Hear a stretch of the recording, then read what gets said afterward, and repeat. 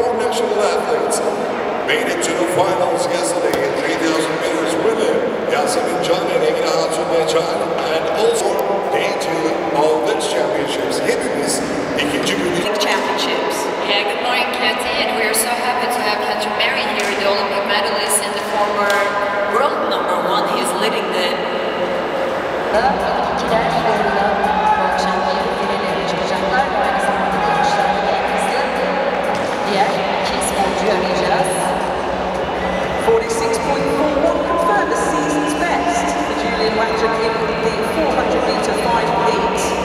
Automatically through therefore for the semi-finals. Close enough, I think it was Ollie Basket of the Netherlands who came through for the second automatic qualifying spot. Bahçeli'nin olarak bu birinci ikincilikte Bir kez daha alkışlıyoruz hep birlikte. Pentatlon'da kadınlarda Türkiye rekoru kırarak Avrupa Salon Temizim Şampiyonası'nda ve üçüncü sırada yer alıyor atışını gerçekleştirdi.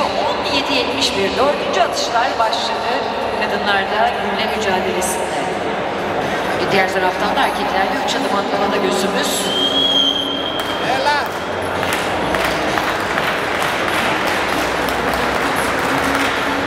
yedi kez ulusal şampiyonluğu bulunan